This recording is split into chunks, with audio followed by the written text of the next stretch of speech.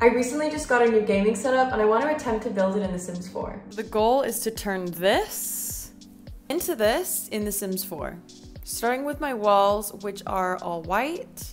Found the perfect desk, which is pretty accurate, but these proportions are so wrong, so we're gonna just drag that in one. Found the perfect wardrobe, and next to it I keep a steamer, which we don't have in the game, so I'm putting a plant instead. I don't have a perfect replica of my PC setup, but I have these custom content spiderweb gaming computers with three monitors when I actually only have two. I have the Elgato accessories by Ravasheen, we have the ring light and the stream deck and the Wave 3 mic, and place the camera on top. On the opposite side, I have this cabinet with a little table and a mini fridge on top and a mirror. All right, I've just added a last few bits of clutter. We have the artwork here, vase, candles, the mini fridge, the plant, and we are done. Let me know down below how you think I did.